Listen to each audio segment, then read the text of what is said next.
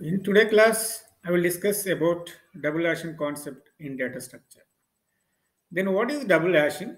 The double hashing is a collision resolution technique which is used to resolve the collision. Then what is the procedure to resolve the collisions by using the double hashing? We will see we will see in today's class. See here, that is a collision resolution technique in open addressing. There are three methods are there in the open addressing for resolving the collisions. The linear probing, then quadratic probing and double hashing. Then it deploys the idea of using the second hash function in case of the collision. So then what is the meaning of the statement is when collision occurs, then we go for the double hashing. Double hashing means the hashing again. Then we can do the two times hashing for resolving the collisions. Then it uses the hash value which has generated by the first hash function as the starting point. Then which can generate the one index then in case of collisions, then we go for the second hash functions. Otherwise, we don't go for the second hash function. Then what is the formula for second hash function we see here? Uh, this is the formula for the second hash function for resolving the collisions. The h1 of k plus i in the first collision i value becomes 1, the second collision i value becomes 2, the third collision i value becomes 3 and so on.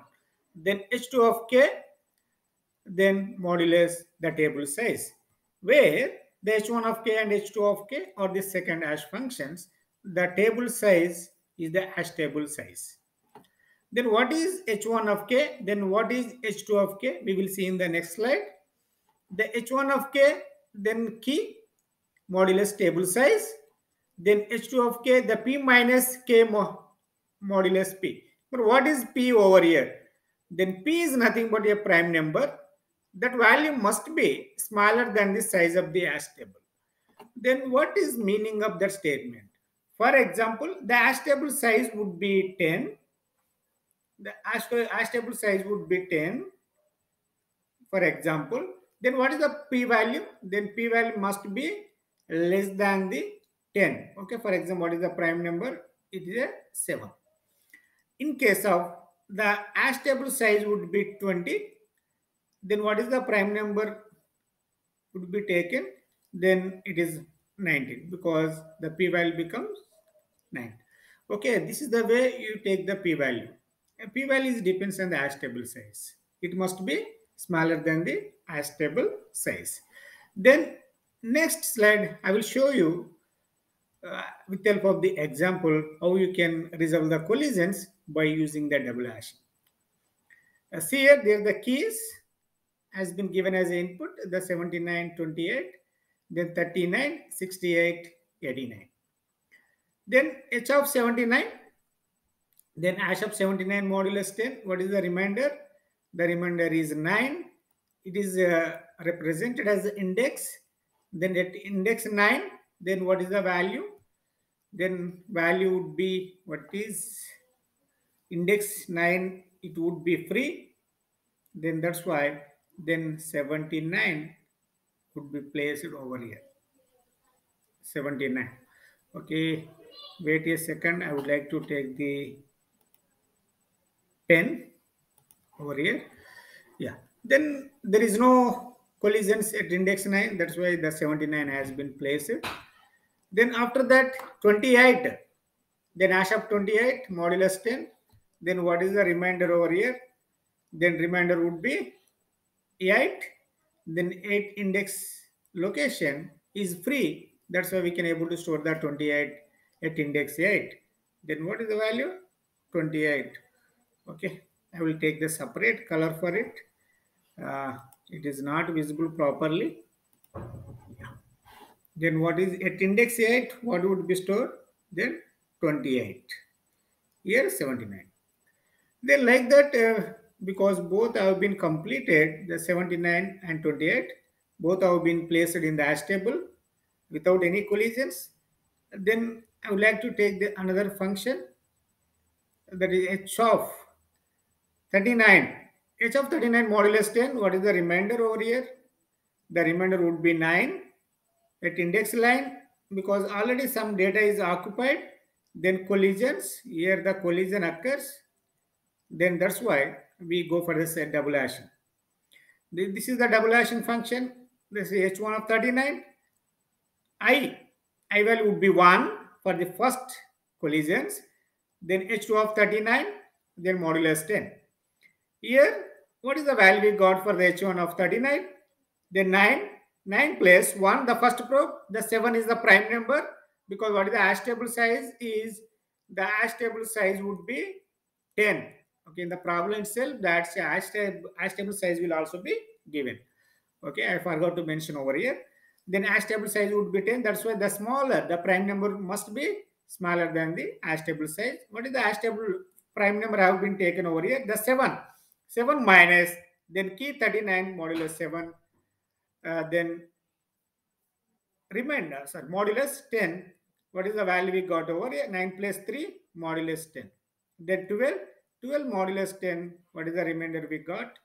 2 at index 2 we check whether it is a free slot or not because there is no collisions at index 2 then what is the value would be stored at index 2 then 39 39 has placed at index 2 because it is free. Then like that next we we find the next empty free slot in the hash table. What is the key value has been provided as input. Then 68, okay, 39 has also been placed. The 79, 28, 39 has been placed in the hash table. What is the next one? Next key value would be 68. Then hash of 68 modulus 10. Then what is the remainder? What is the index location 8? Because at 8, 8 what is the value will be there? The 28. That because it is collisions. Okay. Then at index 8 is also collision occurs. Then we need to resolve the collisions.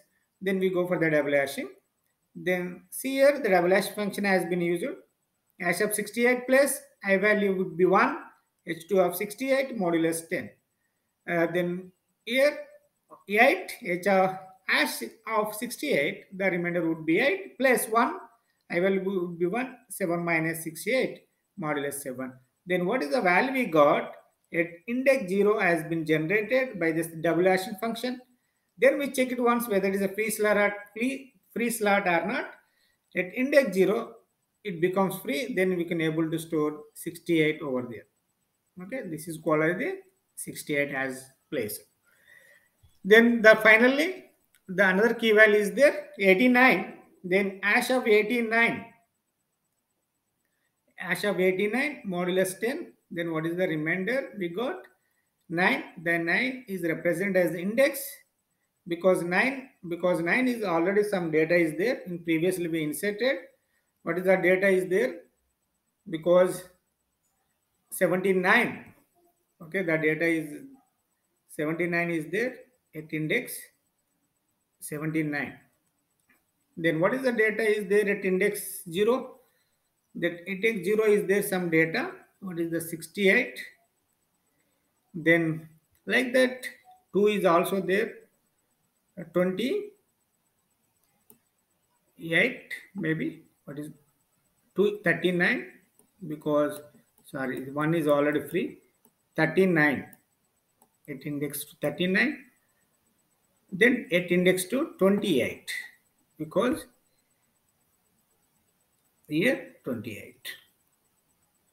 Then see here at index 9 some already data is occupied. Then collision occurs. Then how to resolve the collisions? We go for the here the collision occurs. Then we go for the double hash. Then here hash of 89 plus 1 h2 of 89 modulus 10 then what is the value? It is 9 the value becomes 9 plus 1 multiplied with 7 minus 89 modulus 7 then what is the value we got over here? 2 9 plus 2 11 the 11 modulus 10 what is the index has been generated by the double hashing functions? Then 1 at index 1 there is no it is free. Index 1 is free. That's why we can able to store 89 over here. Okay. then if it is also collision occurs then at that time i value becomes what happens 2 like that, we can able to find free empty slot in the hash table by using the double hash function. It is very very efficient algorithm to compare with uh, what is called linear probing or quadratic probing. Got my point? Okay, if you have any doubt regarding this double hashing, please contact me through comment box window. Thank you. Thank you all for watching my videos.